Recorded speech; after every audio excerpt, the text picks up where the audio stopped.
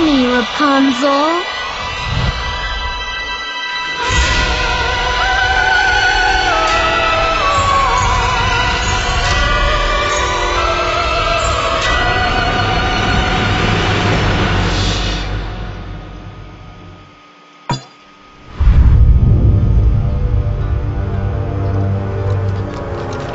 Welcome to Mount Shnishka, Detective.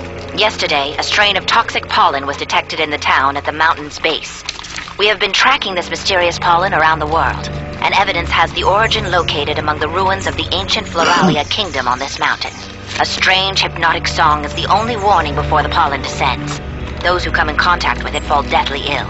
Your mission is to uncover the mystery of this toxic pollen source and stop it from spreading further. We believe that Rapunzel, the fabled princess of Floralia, still lurks in the abandoned tower.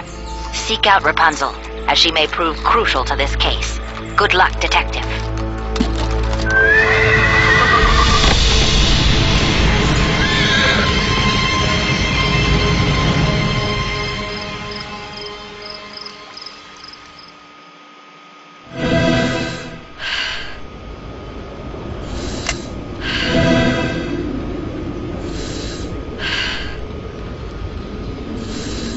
Please help.